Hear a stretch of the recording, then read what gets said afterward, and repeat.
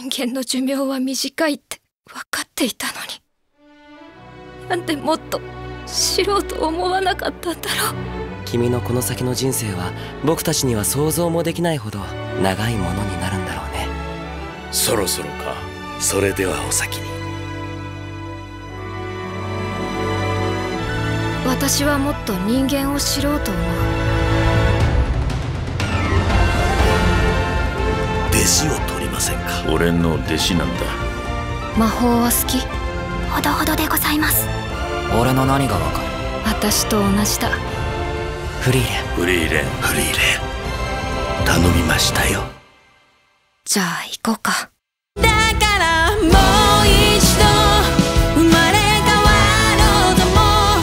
それはフリーレン様にとって大切なことなのでございますね。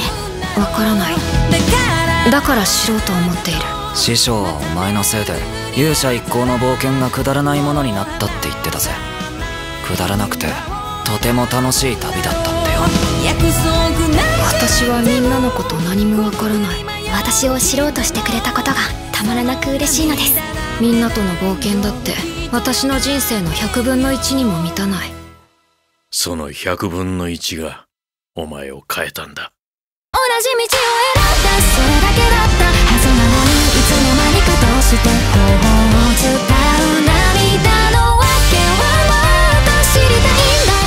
死んだら天国に行くんですよ。フリーレン僕たちは確かに実在したんだ。きっと見つけられる。そうだね